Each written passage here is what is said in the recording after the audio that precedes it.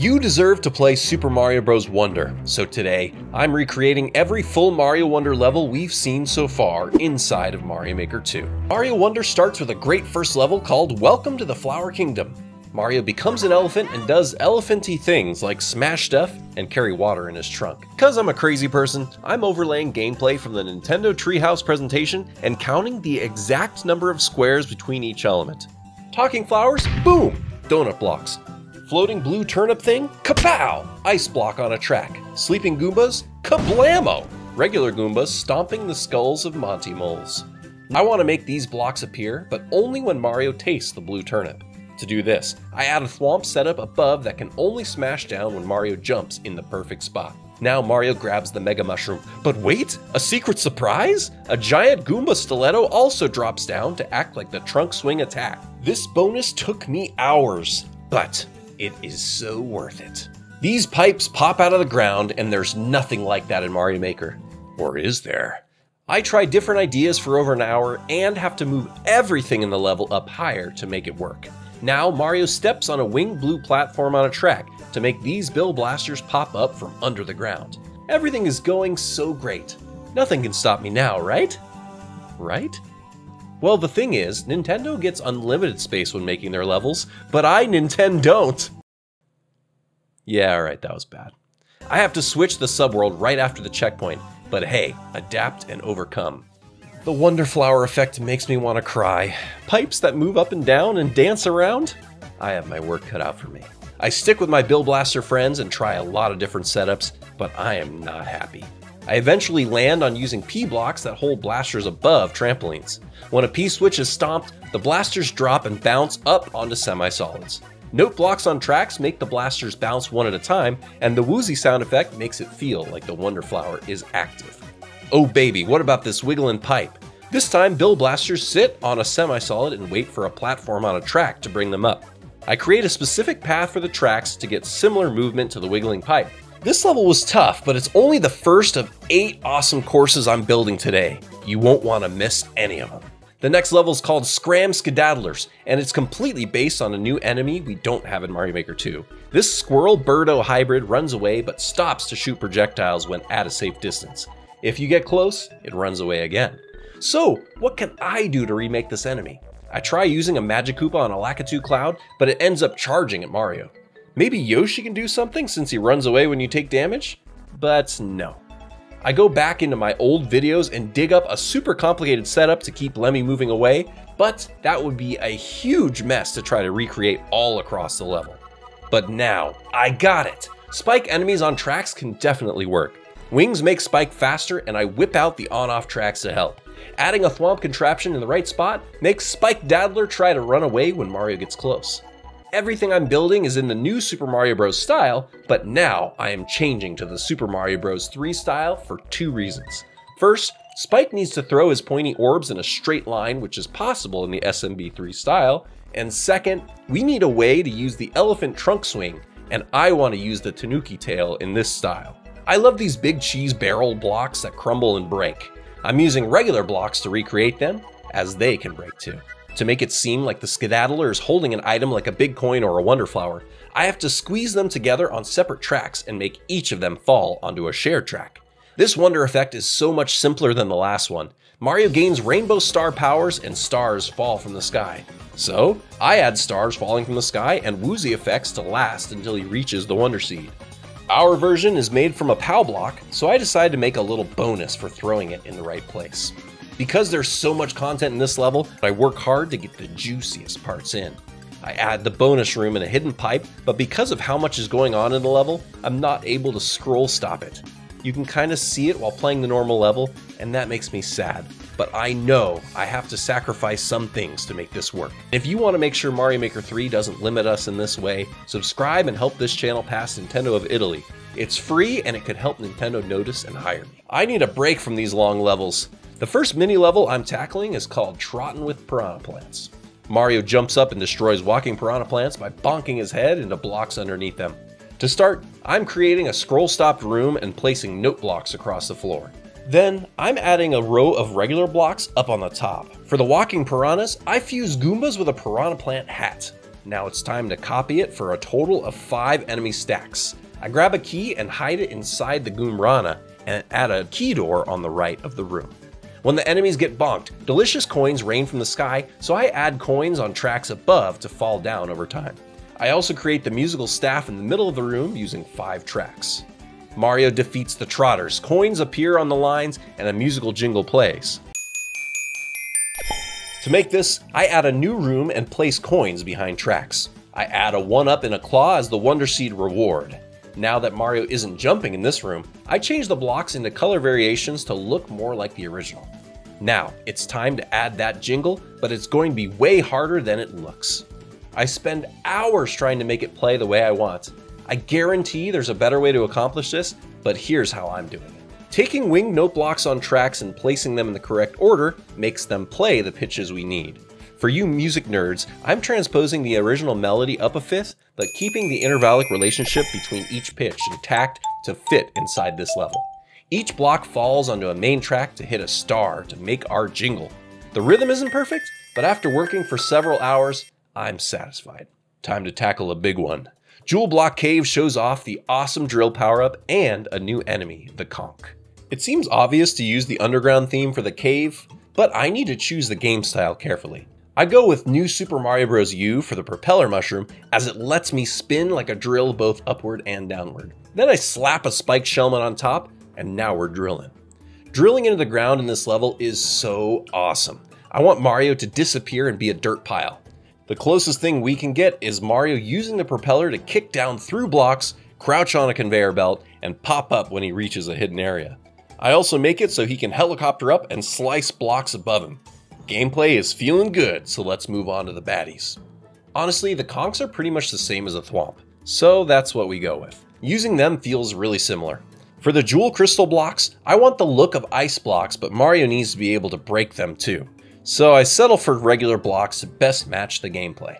Some of these new conk enemies attack upward, but our primitive thwompies don't know how to do that.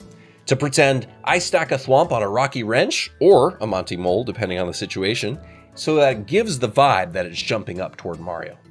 This wonder effect, man. If you've ever had nightmares about getting smushed, this is the one that will haunt you. A giant Conk fills the entire screen and races to destroy Mario as he frantically tries to make it to the bottom of the zone. How in the Waluigi am I going to do this one? I start with a vertical subworld to give Mario room to fall down a lot. I think it makes sense to have six big thwomps with parachutes together to act like the giant conk. I add ice blocks and regular blocks as the jewels. I am so excited to test it out, and it fails miserably. Only one thwomp chases Mario, and it just feels sad. In my head, the floor can explode and everything smashes down, wreaking havoc, but in reality, none of that works. I try so many variations and fail for literal days. I ask my smartest Mario friends to help, and come up with a complex solution where Mario is trapped in a hard block prison. The cage moves across and triggers all six thwomps at different times, so they eventually line up, but it just doesn't feel right. Enter my savior, Arrowstotle Discord server moderator, Pike. He shows me something so simple that works so well, and it makes me so angry. I almost wanted it to be impossible so that my time spent would be justified. After spending only 5 minutes to set up his method, everything looks and feels great. Everyone comments, I hate that Pike is such a genius below. I add a few more details to the level like placing inactive P blocks for the light rays with the glory sound effect, and the level is ready. Jewel Block Cave induced enough stress, so to recover, I'm making the Wall Climbing Badge Challenge next. This level lets Mario jump off of walls in a new way where he can jump upward once while on the wall before jumping off and away from it. I immediately set my juicy brain to the task of making the ultimate wall climb setup and have an idea of something really cool to try. A trick exists in the Super Mario Bros. style where you can move Bill Blasters to cover up a bridge, but Mario can still somehow stand on that bridge. I want so badly to use this idea, but it's impractical to set this up everywhere so I scrap it. After going through all five stages of grief, I land on using conveyor belts and the squirrel suit from the new Super Mario Bros. style. I also go with the sky theme as it has the perfect colorful semi-solids to feel like the original level. I overlap conveyor belts that Squirrel Mario can cling to with a bridge to give him an extra vertical jump, and it works pretty darn well. A bill blaster on a track becomes the shifting wall, and I slap a donut block on a square of tracks to make the rotating block. I throw in the big coins as the extra challenge, and sweet, sweet success. Five levels down, but the next three in the world maps will be tough. Bull Rush coming through is wacky and fun, and introduces another new Mario enemy, the Bull Rush. This bull charges at Mario and can smash through hard blocks, but also can be used as a platform in some cases that's probably going to make things impossible. To start, I use big thwomps for the charging and smashy mechanics. I use key coins in place of the purple coins because that's the best I can do, but I make sure that they're completely optional to collect. This level has really cool trees that Mario can ground pound to lower. I need to figure out a way to recreate those. I try many strange ideas until I settle on a wing blue platform on a track. Let's skip ahead to the Wonder Effect. This one is super creative and makes me so excited for Mario Wonder's potential. Bull Rushes create a stampede and make a moving platform train. This line of enemies flies through the level into the sky and back onto the floor several times. How in Bowser's Fire Breath am I going to do this one? I start with Buzzy Beetle shells coming out of Bill Blasters. I know Mario can stand on the shells as a ride without taking damage. I figure out a setup where an on-off block gets triggered to start the Bull Rush Stampede, and trampolines fall from out of view onto pre-arranged two-state blocks. Now Mario stands back and enjoys the ride. In the original level, the Bull Rush Stampede powers through the flagpole, completely destroying it. It's so cool, but we have nothing like that. Instead, I make a fake flagpole with a checkpoint, tracks, and a brick block. Then slap a thwomp where it shatters ice and hard blocks to create falling debris as if it's breaking. A cool new enemy which we don't know the name of yet hovers in the Stampede's path. I recreate these by using chain chomps on tracks. I try to make sure they're destroyed by the Stampede, or at least don't hit Mario, but sorry in advance if it happens. Then, I make cloudy secret areas near the top of the level, but don't want to spoil how to reach them. I add a 1-up as the Wonder Seed, and finish things out with a Cloud Run and a happy Poplin friend at the end. Before I can be truly satisfied with the levels, there's one thing I'm missing. Right here, you can see a Poplin shop where Mario goes to trade his dinner for items. I must give Mario the chance to shop, so I get down to business. I scroll stop the starting area, a middle room, and the ending room. There's no real way to get Mario to spend money in levels, so I give him a trampoline as currency.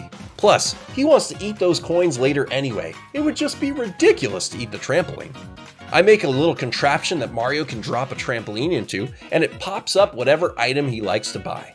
He can only choose one item as his trampoline money gets caught in the machine. In the original Poplin shop, you can get a coin magnet badge, 1-ups, and a standee. My version will have a POW block, 1-ups, and a P-switch to choose from. In the final room, Mario can use his items for a reward. Big scrumptious coins drop with the POW block, but the P-switch gives him bite-sized coins and a chance to hit the top of the gold pole. As a finishing touch, I decorate the shop room to explain that the trampoline is the money and add the word shop on the first screen to make it feel like you're going into, you guessed it, a room. You thought I was done, didn't you? Not yet. Now, I need the world map to connect all these courses together.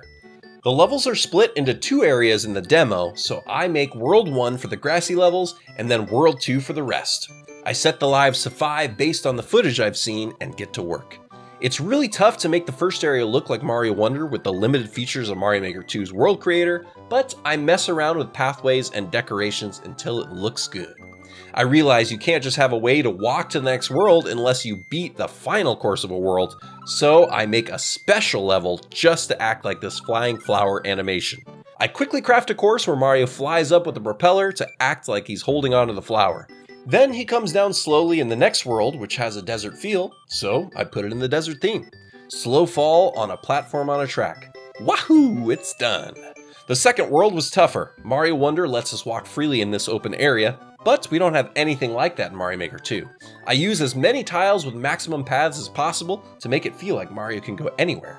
Then I place the levels in places that are similar to the original worlds. I have to decide on one level to be the castle, even though we haven't seen the true castle just yet. I pick Jewel Block Cave and make sure the player can visit the levels in any order. Then I add decorations to match the world as much as possible, even though I only have 4 choices in Mario Maker 2. Now that we've built it, here comes the fun part. Grab your Nintendo Switch, boot up Mario Maker 2, and let's play this full thing together.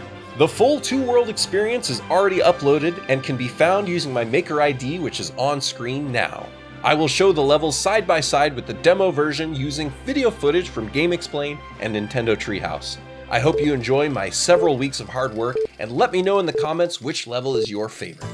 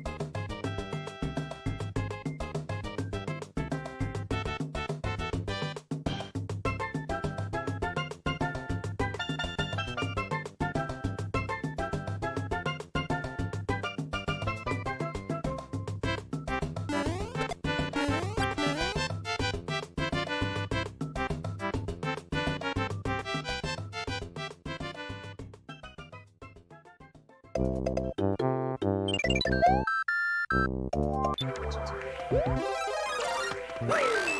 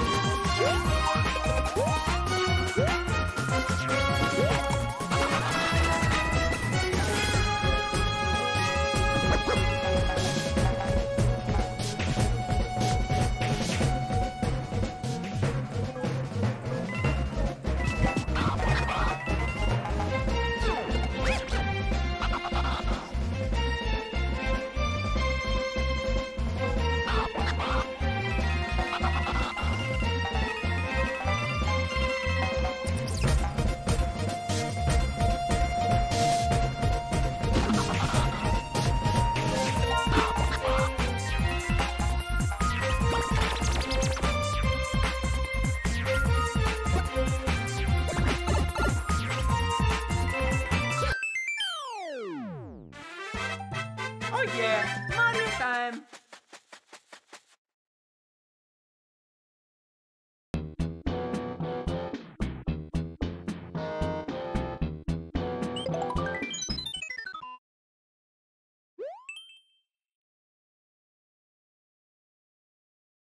Oh